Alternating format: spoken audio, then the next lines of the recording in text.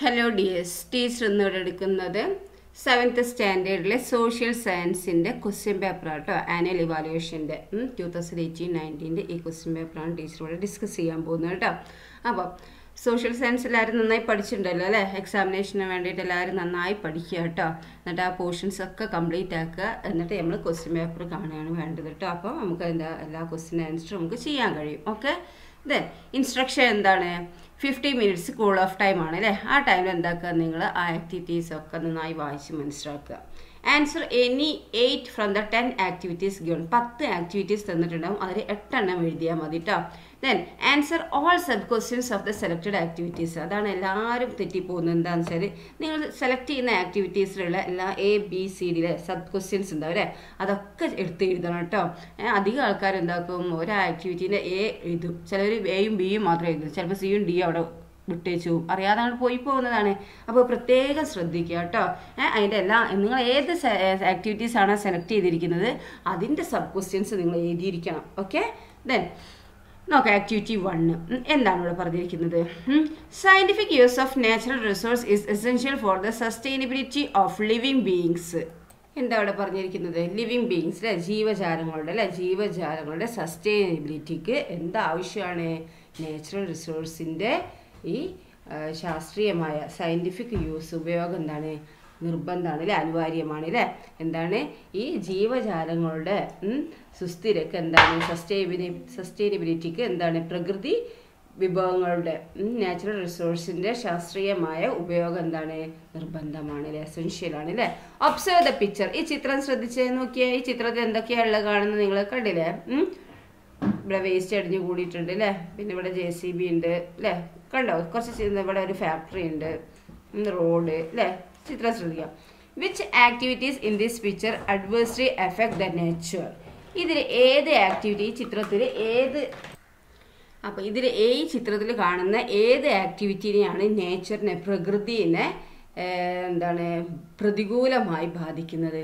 ഇതിൽ ഏത് ആക്ടിവിറ്റീസാണ് എന്താണ്? ഇതിൽ ഈ ചിത്രത്തിലെ ഏതെല്ലാം പ്രവർത്തനങ്ങളാണ് ഈ പ്രകൃതിയെ പ്രതികൂലമായി ബാധിക്കുന്നത്? അതെടുത്ത് എഴുതാനാണ് പറഞ്ഞിരിക്കുന്നത് കേട്ടോ അടുത്ത എന്താ? ബി എന്താണ്? Suggest solution for any two adverse activities you saw in the picture എന്താണ്? ചിത്രത്തിൽ നിങ്ങൾ കണ്ട ഏതെങ്കിലും രണ്ട് പ്രതികൂല പ്രവർത്തനങ്ങൾക്ക് പരിഹാരം നിർദ്ദേശിക്കുക. സൊല്യൂഷൻ നിർദ്ദേശിക്കാനാണ് പറഞ്ഞിരിക്കുന്നത്. നിങ്ങളതായിട്ടുള്ള രീതിയിൽ നിങ്ങൾ എന്താക്കുക ഇതിനൊരു പ്രതികൂലമായിട്ട് എന്താണ്? കണ്ടല്ലോ കുറേ അല്ലേ? അപ്പോൾ അതിനെന്താക്കി ആ പ്രതികൂല പ്രവർത്തനങ്ങൾക്ക് എന്താണ്? സൊല്യൂഷൻ പരിഹാരം നിർദ്ദേശിക്കാനാണ് പറഞ്ഞിരിക്കുന്നത് കേട്ടോ അപ്പോൾ അവിടെ എന്തൊക്കെയാണ് ഇവിടെ പരിഹാരം? നമുക്ക് ഇതിൽ നിന്ന് മനസ്സിലാവും അല്ലേ? എന്തൊക്കെയാണ് പരിഹാരങ്ങളാണല്ലേ? വേസ്റ്റ് കൂടി കിടക്കുന്നത് എന്താക്കുക? ഒഴിവാക്കുകയാണ് വേണ്ടത് അല്ലേ? അപ്പോൾ ഈ കാക്കകളും പട്ടികളൊന്നും വന്ന് കൂടില്ല അവരൊക്കെ എന്താണ്? നമുക്കൊക്കെ ഹാംഫുൾ ആയിട്ടുള്ള ആനിമൽസ് ആണ് അല്ലേ? ഡോഗൊക്കെ ഇപ്പോൾ ദെൻ അടുത്ത നോക്ക്. അത് വെച്ചേക്ക് നിങ്ങൾ എഴുതുക.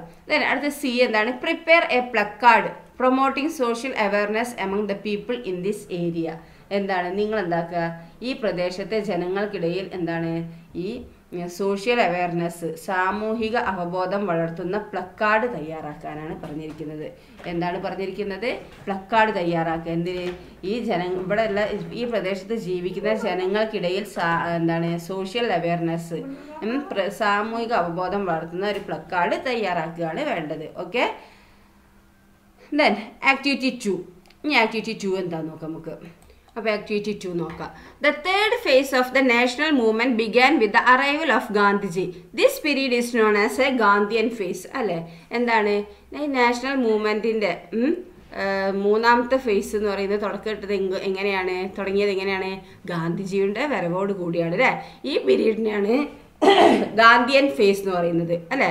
നോക്കൂ അതിൽ ഫസ്റ്റ് വൺ ആണ് കേട്ടോ A given table shows the agitations led by Gandhiji. Prepare timeline rearranging the years and agitations accordingly. എന്താ അവിടെ പറഞ്ഞിരിക്കുന്നത് ഈ ഗിവൺ ടേബിൾ ടേബിളിൽ ഷോ കാണിച്ച് എന്താ കാണിക്കുന്നത് എന്താണ് ഗാന്ധിജിയുടെ നേതൃത്വത്തിൽ നടന്ന എന്താണ് ഈ സമരങ്ങളാണ് അല്ലേ? അപ്പോൾ ഇവിടെ ഈ ടേബിളിൽ കാണിക്കുന്നതാണ് ഗാന്ധിജിയുടെ നേതൃത്വത്തിൽ നടന്ന പ്രക്ഷോഭങ്ങളാണ് ഇവിടെ ഈ ടേബിളിൽ തന്നിരിക്കുന്നത്. Prepare a timeline rearranging the years and agitations accordingly ഈ എന്താണ് ഈ പ്രക്ഷോഭങ്ങളും അതിന്റെ വർഷവും എന്താണ് കറക്റ്റ് ഓർഡറിലാക്കിയിട്ട് എഴുതാനാണ് പറഞ്ഞിരിക്കുന്നത്. അത് തന്നിരിക്കുന്നത് മാച്ച് ദ ഫോളോയിങ് ചെയ്യാണ് വേണ്ടത് അല്ലേ? എയും ബിയും അല്ലേ? Salt satyagraha quit India movement uh, Kheda satyagraha the agitation against Rowlatt Act Champaran satyagraha അല്ലേ? പിന്നെ വർഷങ്ങൾ ഇവിടെ തന്നിട്ടുണ്ട് അല്ലേ? അപ്പോൾ സാൾട്ട് സത്യാഗ്രഹം നടന്ന ഏത് വർഷമാണെന്ന് നമുക്കറിയാം അല്ലേ? അപ്പോൾ ആ വർഷമാണ് നിങ്ങൾ എന്താക്കേണ്ടത് എഴുതേണ്ടത്. അപ്പോൾ ഇവിടെ തന്നെ എഴുതേണ്ടത് അല്ലേ ഇയറും അജിറ്റേഷൻസ് ആദ്യം എന്താണ്? നയന്റീൻ ഫോർട്ടി ടു തന്നിട്ടുണ്ട് അല്ലേ അപ്പോൾ നയന്റീൻ ഫോർട്ടി ടുവിൽ നടന്ന സംഭവം എന്താണെന്ന് നിങ്ങൾക്കറിയാം അല്ലേ അത് എഴുതുകയാണ് വേണ്ടത്. പിന്നെ എന്താണ്? ഓരോന്നും നിങ്ങൾ എന്താക്കുക? ആ ഇയറും വെച്ചിട്ട് ഇങ്ങനെ എഴുതുക കേട്ടോ ഓരോ വർഷത്തും. Nineteen seventeen nineteen nineteen nineteen thirty nineteen എയ്റ്റീനൊക്കെ എന്താണ്? അതിന്റെ നേരായിട്ട് അതിന്റെ ആ പ്രക്ഷോഭങ്ങൾ അജിറ്റേഷൻസ് എഴുതുകയാണ് വേണ്ടത് ഇവിടെ. ഓക്കെ ദെൻ അടുത്തത് എന്താണ്? ഹൂ ഈസ് ഡിസ്ക്രൈബ്ഡ് ഇതിലുള്ള A- ഇതാണ് കേട്ടോ ഇത് എ ആണ് ഇത് ബി ആണ് കേട്ടോ അതിലത് എഴുതണം കേട്ടോ then who is described as a leader of the quit India movement by Gandhiji ആരാണ്? ഈ ക്വിറ്റ് ഇന്ത്യ മൂവ്മെന്റിന്റെ ലീഡർ എന്ന് പറഞ്ഞത് എന്താണ്? ഗാന്ധിജിയാൽ who is described as a leader of the quit India movement by Gandhiji Gandhiji quit India മൂവ്മെന്റിന്റെ leader എന്ന് പറഞ്ഞിട്ട് ആരെയാണ് വിശേഷിപ്പിച്ചത്?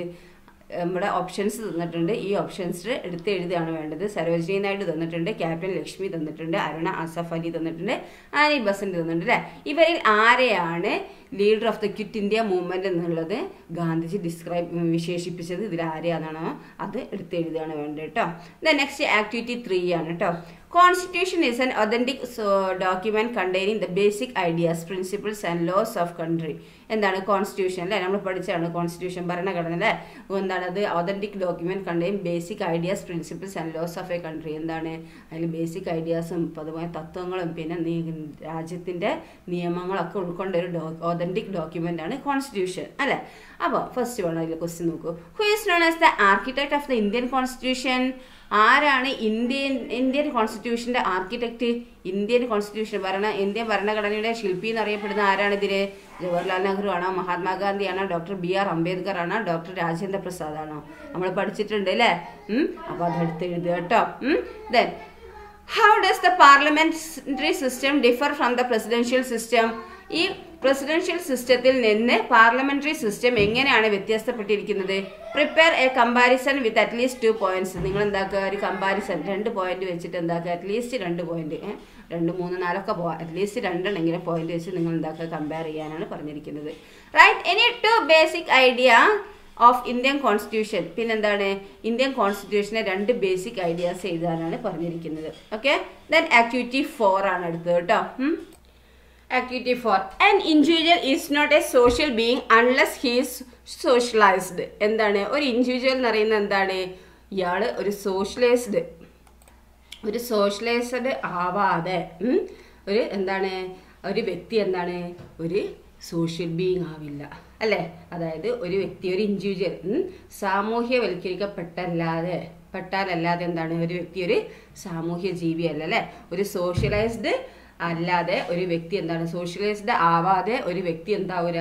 ഒരു സോഷ്യൽ ബീങ് ആവൂല? അങ്ങനെയാണെങ്കിൽ ഫസ്റ്റ് ക്വസ്റ്റ്യൻ നോക്കൂ. വാട്ട് ഈസ് സോഷ്യലൈസേഷൻ എന്താണ് സോഷ്യലൈസേഷൻ എന്ന് പറഞ്ഞാൽ രണ്ടാമത്തത് how does the school help you in socialisation write any two point എന്താണ്? എങ്ങനെയാണ് നിങ്ങൾ ഒരു സ്കൂൾ സോഷ്യലൈസേഷൻ ആവാൻ ഹെൽപ്പ് ചെയ്യുന്നത്? അതായത് സാമൂഹ്യവൽക്കരണത്തിൽ സ്കൂൾ നിങ്ങളെ എങ്ങനെ സഹായിക്കുന്നു? രണ്ട് പോയിന്റ് എഴുതുക. Okay find out the statements which are helpful helpful for socialisation എന്താണ്? സോഷ്യലൈസേഷന് സഹായകമായ പ്രസ്താവനകൾ ഇതിൽ നാലെണ്ണം തന്നിട്ടുണ്ട്. അതിൽ ഏതാന്ന് കണ്ടെത്താനാണ് പറഞ്ഞിരിക്കുന്നത്. ഓക്കെ എന്താണ്? സാമൂഹ്യവൽക്കരണത്തിന് സഹായകമായ പ്രസ്താവന പ്രസ്താവനകൾ കണ്ടെത്താനാണ് പറഞ്ഞിരിക്കുന്നത്. ഓക്കെ ഫസ്റ്റ് വൺ ഒന്നാമത്തത് എന്താണ്? ലീഡിങ് ആൻഡ് ഐസോലേറ്റഡ് ലൈഫ് അല്ലെ എന്താണ്? ഒറ്റപ്പെട്ട ജീവിതം നയിക്കുന്നു. അത് സോഷ്യലൈസേഷൻ എന്താണ്? സ്റ്റേറ്റ്മെന്റിൽ പെട്ടതാണോ? പിന്നെ അടുത്തത് prevents the destruction of a public property എന്താണ്? പൊതുമുതൽ നശിപ്പിക്കുന്നത് തടയുന്നു. അതെന്താണ്? സോഷ്യലൈസേഷൻ ആണോ? ആണെങ്കിൽ അത് എടുത്ത് എഴുതുക. അടുത്തത് keep decency in public places എന്താണ്? പൊതു ഇടങ്ങളിൽ മാന്യത പാലിക്കുകയാണ്. അല്ലെ? ഡീസൻസി മാന്യത പാലിക്കുന്നുണ്ട്. അതെന്താണ്? സോഷ്യലൈസേഷൻ ആണോ? ആണെങ്കിൽ എടുത്ത് എഴുതുക. Spending time excessively in front of visual media പിന്നെന്താണ്? ഈ വിഷ്വൽ മീഡിയകൾക്ക് മുന്നിൽ അമിതമായി സമയം ചെലവഴിക്കുന്നു. അമിതമായ സമയം ചെലവഴിക്കുക ആണ് ദൃശ്യമാധ്യമങ്ങൾക്ക് മുന്നിൽ. അത് സോഷ്യലൈസേഷനുള്ള സ്റ്റേറ്റ്മെന്റ് ആണോ? ആണെങ്കിൽ എടുത്ത് ചെയ്ത് അല്ലെങ്കിൽ എടുത്ത് ചെയ്തരുത് ഓക്കെ? ഏതാണോ? സോഷ്യലൈസേഷന് സ്റ്റേറ്റ്മെന്റുമായിട്ട് സഹായമായ പ്രസ്ഥാനം ഏതാണോ അതെടുത്ത് എഴുതുകയാണ് വേണ്ടത്. Okay? Next five activity five ആണ് കേട്ടോ the leadership of Gandhiji led to massive participation of people in the national movement എന്താ പറഞ്ഞിരിക്കുന്നത്? Leadership of Gandhiji led to a massive participation of people in the national movement national മൂവ്മെന്റിൽ ആൾക്കാരുടെ massive പാർട്ടിസിപ്പേഷനിൽ Gandhiji എന്താണ്? നേതൃത്വം. ഗാന്ധിജിയുടെ leadership എന്തായിട്ടുണ്ട് എന്തായിണ്ടത്? എന്താ പറഞ്ഞത്? ഗാന്ധിജിയുടെ നേതൃത്വം എന്താണ് നാഷണൽ മൂവ്മെന്റിൽ ആളുകളുടെ വൻ തോതിലുള്ള പങ്കാളിത്തത്തിന് കാരണമായിട്ടുണ്ട് അല്ലേ എന്താണ് നാഷണൽ മൂവ്മെന്റിൽ ആൾക്കാരുടെ വൻ തോതിലുള്ള പങ്കാളിത്തത്തിന് കാരണമായത് എന്താണ്? ഗാന്ധിജിയുടെ നേതൃത്വമാണ് അല്ലേ ഗാന്ധിജി നേതൃത്വം ചെയ്തുകൊണ്ടാണ് ആൾക്കാർ കൂടുതലായിട്ട് അതിൽ മാസീവായിട്ട് പാർട്ടിസിപ്പേഷൻ ചെയ്തത് അല്ലേ നാഷണൽ മൂവ്മെന്റിൽ അങ്ങനെയാണെങ്കിൽ ഫസ്റ്റ് ക്വസ്റ്റ്യൻ നോക്കൂ. In India the first strike led by Gandhiji was the Champaran satyagraha what was the strike for ആ ഇന്ത്യയിൽ എന്താണ് ഗാന്ധിജി ഫസ്റ്റ് എന്താ സമരത്തിന് നേതൃത്വം കൊടുത്തത് ചമ്പാരൻ സത്യാഗ്രഹമായിരുന്നു അല്ലേ? What was the strike for ഈ സ്ട്രൈക്ക് എന്തിനു വേണ്ടിയായിരുന്നു? അറിയാലോ അല്ലേ. അടുത്ത രണ്ടാമത്തത്. ഹാ അത് നോക്കുക അറിയാത്തവരെന്താക്കുക ആ പേജ് നിങ്ങൾക്ക് അറിയാലോ? ചാപ്റ്റർ ഏതാന്നൊക്കെ. അതിന് വേണ്ടി ടീച്ചർ ആൻസർ പറയാത്തത് എന്താ വെച്ചാൽ നിങ്ങൾ തന്നെ കണ്ടുപിടിക്കണം. അപ്പോൾ നിങ്ങൾക്ക് എന്താക്കുക അതിന്റെ ബാക്കിയുള്ളതും കൂടി നിങ്ങൾക്ക് കിട്ടും. അപ്പം അപ്പോൾ നിങ്ങൾ ടെക്സ്റ്റ് ബുക്ക് എടുത്ത് നോക്കുക. ഓക്കെ? നോട്ട്ബുക്കിൽ നിങ്ങൾക്ക് മെയിനായിട്ട് കുറേ ഒന്നും എഴുതിയിട്ടുണ്ടാവില്ല മെയിനായിട്ട് നിങ്ങൾ പഠിക്കുക. എന്താണ്? എന്താണ്? ടെക്സ്റ്റ് ബുക്ക് നന്നായി വായിച്ച് മനസ്സിലാക്കുകയാണ് വേണ്ടത്. ഓക്കെ? ദെൻ അടുത്തത്. How do the movements led by Gandhiji differ from that of the extremist movement?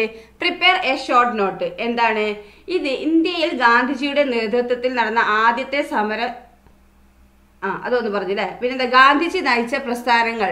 അതായത് how do the movements led by Gandhiji differ from that of the extremist movement prepare a short note എന്താ ഗാന്ധിജി നയിച്ച ഈ പ്രസ്ഥാനങ്ങൾ ഉണ്ടല്ലോ. തീവ്രവാദ പ്രസ്ഥാനങ്ങളിൽ നിന്ന് എങ്ങനെ വ്യത്യാസപ്പെട്ടിരിക്കുന്നു?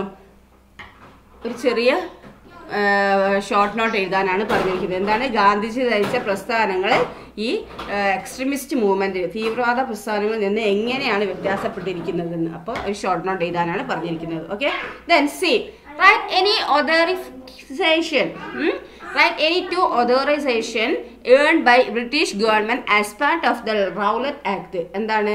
റൗലറ്റ് നിയമത്തിന്റെ ഭാഗമായി ബ്രിട്ടീഷ് സർക്കാർ നേടിയ എന്തെങ്കിലും രണ്ട് അംഗീകാരങ്ങൾ എഴുതുക. എന്താണ്? റൗലറ്റ് ആക്ടിന്റെ ഭാഗമായി ബ്രിട്ടീഷ് ബ്രിട്ടീഷ് ഗവൺമെന്റ് എന്താണ്? നേടിയ എന്തെങ്കിലും രണ്ട് അംഗീകാരങ്ങൾ എഴുതിയ രണ്ട് ഓതോറൈസേഷൻ എഴുതാനാണ് പറഞ്ഞിരിക്കുന്നത്. ഓക്കെ ദെൻ ആക്ടിവിറ്റി സിക്സ് എന്താന്ന് നോക്കാം നമുക്ക്. The sun is the sole source of energy for earth എന്താണ് ഇവിടെ പറയുന്നത്? ഭൂമിയുടെ ഏക സോൾ സോഴ്സ് ഏതാണ്? സൺ ആണ് അല്ലേ ഏക ഊർജ സ്രോതസ് സൂര്യനാണ് അല്ലേ അതിൽ ഫസ്റ്റ് ക്വസ്റ്റ്യൻ നോക്കൂ. Even though earth receive sunlight regularly the surface temperature does not increase much why അല്ല ഓപ്ഷൻ തന്നിട്ടുണ്ട് അല്ലേ അതിൽ എന്താണ്? Temperature absorption carbon dioxide അല്ലേ എന്താണ് ഇവിടെ പറയുന്നത്? ഭൂമിക്ക് സൂര്യപ്രകാശം സ്ഥിരമായി ലഭിക്കുന്നുണ്ടെങ്കിലും അതിന്റെ സർഫേസ് ടെമ്പറേച്ചർ ഉണ്ടല്ലോ അതിൽ കാര്യമായ വർധനവ് ഉണ്ടായില്ല. എന്തുകൊണ്ടാണ്? എന്നാണ് ചോദിച്ചിരിക്കുന്നത്. എഴുതുക. അടുത്ത B find out the uses of the following instruments ഇനി താഴെ തന്നിരിക്കുന്ന ആ ഇൻസ്ട്രുമെന്റ്സിന്റെ ഉപയോഗങ്ങൾ എഴുതാനാണ് പറഞ്ഞിരിക്കുന്നത്. ഇൻസ്ട്രുമെന്റ് വൺ തെർമോമീറ്ററിന്റെ യൂസസ് എന്താ? അറിയാലോ? അനീമോമീറ്ററിന്റെ യൂസസ് എന്താ? അത് എഴുതുക. ഹൈഗ്രോമീറ്ററിന്റെ യൂസസ് എന്താണോ? അത് എഴുതുക കേട്ടോ. ഓക്കെ ദെൻ ആക്ടിവിറ്റീസ് സെവൻ ആണ് എടുത്തത് the progress gain from social reformation movement guided Kerala in its later development എന്താണ് ഇവിടെ പറഞ്ഞിരിക്കുന്നത്? എന്താണ് ഇവിടെ പറഞ്ഞിരിക്കുന്നത്? നമുക്ക് സോഷ്യൽ റിഫോർമേഷൻ മൂവ്മെന്റ് അതായത് സാമൂഹിക പരിഷ്കരണ പ്രസ്ഥാനത്തിൽ നിന്ന് നേടിയ പ്രോഗ്രസ് നേട്ടങ്ങൾ എന്താണ്? കേരളത്തെ പിന്നീടുള്ള ഡെവലപ്മെന്റിന് വഴികാട്ടി. പിന്നീടുള്ള എന്താ വികസനത്തിന് വഴികാട്ടി അല്ലേ? എന്താണ്? സോഷ്യൽ റിഫോർമേഷൻ മൂവ്മെന്റിന് മൂവ്മെന്റിൽ നിന്ന് നേടിയ നേട്ടങ്ങൾ എന്താണ്? കേരളത്തിന് പിന്നീട് എന്താക്കി? പിന്നീടുള്ള വികസനത്തിന് വഴികാട്ടി. അതിൽ ഫസ്റ്റ് ക്വസ്റ്റ്യൻ എന്താണ്? Name and earlier revolt led by the woman in Kerala എന്താണ്? കേരളത്തിലെ സ്ത്രീകൾ നയിച്ച ആദ്യത്തെ റിവോൾട്ട് ഏതാണ്? കേരളത്തെ സ്ത്രീകൾ നയിച്ച ഏർലിയർ റിവോൾട്ട് ഏതാണെന്നാണ് ചോദിച്ചിരിക്കുന്നത്? എഴുതുക. പേര് എഴുതാനും then name any one missionary society which promoted education in Kerala എന്താണ്? കേരളത്തിൽ വിദ്യാഭ്യാസം പ്രോത്സാഹിപ്പിച്ച ഏതെങ്കിലും ഒരു മിഷണറി സൊസൈറ്റിയുടെ പേര് പറയുക.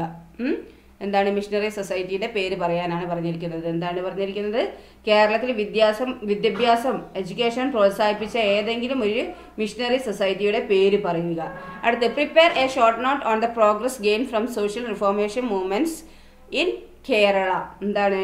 കേരളത്തിലെ സാമൂഹിക നവീകരണ പ്രസ്ഥാനങ്ങളിൽ നിന്ന് നേടിയ പുരോഗതിയെക്കുറിച്ച് ഒരു ചെറിയ ഷോർട്ട് നോട്ട് എഴുതാനാണ് പറഞ്ഞിരിക്കുന്നത്. എന്തൊക്കെയാ? ഫ്രീഡം ഓഫ് മൂവ്മെന്റ് ആ ചലനത്തിനുള്ള സ്വാതന്ത്ര്യം ഒക്യുപ്പേഷൻ തൊഴിൽ പിന്നെ ഡ്രസ് കോഡ് വസ്ത്രധാരണ രീതി പിന്നെ എഡ്യൂക്കേഷൻ വിദ്യാഭ്യാസം പിന്നെ ജെൻഡർ ഇക്വാളിറ്റി ലിംഗസമത്വം പിന്നെ കാസ്റ്റ് ഹൈറാർക്കി എന്താ ജാതി ശ്രേണി അല്ലേ ഇതൊക്കെ എഴുതാനാണ് പറഞ്ഞിരിക്കുന്നത്.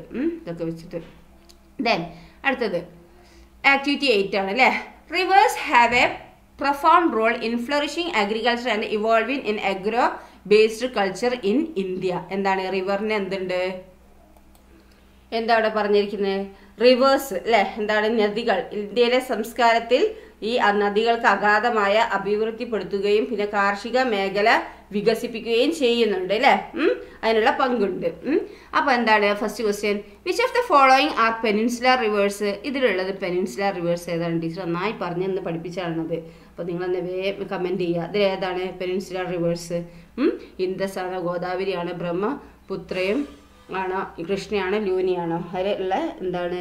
Peninsula rivers. ഇവയിൽ പറയുന്ന പെനിൻസുലർ നദികൾ ഏതാണെന്ന് ചോദിച്ചിരിക്കുന്നത്. Okay write a short note on the features of north Indian rivers origin water alluvium എന്താണ്? ഈ നോർത്ത് ഇന്ത്യൻ റിവേഴ്സിന്റെ സവിശേഷതകളെ കുറിച്ച് ഒരു ചെറിയ ഷോർട്ട് നോട്ട് എഴുതുക. അപ്പോൾ നോർത്ത് ഇന്ത്യൻ റിവേഴ്സ് എന്താണ്? അതിന്റെ എവിടെ നിന്നാണ് ഉത്ഭവിക്കുന്നത്? പിന്നെ എന്താണ്? ഇങ്ങനത്തെ വെള്ളമാണ് പിന്നെ എന്താണ് അതിന്റെ മണ്ണിനെ കുറിച്ചിട്ടും ഓക്കെ ഒരു സോയിലിനെ ഒക്കെ കുറിച്ചിട്ട് നിങ്ങൾ ഒരു ഷോർട്ട് നോട്ട് എഴുതുക. നോർത്ത് ഇന്ത്യൻ റിവേഴ്സിന്റെ ഇതിൽ കേട്ടോ okay in which river bank does the famous Varanasi town situated ഏത് നദീതീരത്താണ് ഈ പേര് കേട്ട വാരാണസി ടൗണ് നിലനിൽക്കുന്നത്? ഏത് നദിയുടെ തീരത്താണെന്നാണ് ചോദിച്ചിരിക്കുന്നത്? അത് എഴുതുക കേട്ടോ then Then, activity 9. India's physiography, rivers, climate, soil type, natural vegetations and animal lives are diversified അല്ലേ ഇന്ത്യയിലെ physiography rivers climate soil type natural vegetation animal lives ഒക്കെ എന്താണ് ഡൈവേഴ്സിഫൈഡ് അതൊക്കെ എന്താണ് ഡൈവേഴ്സ് അല്ലേ?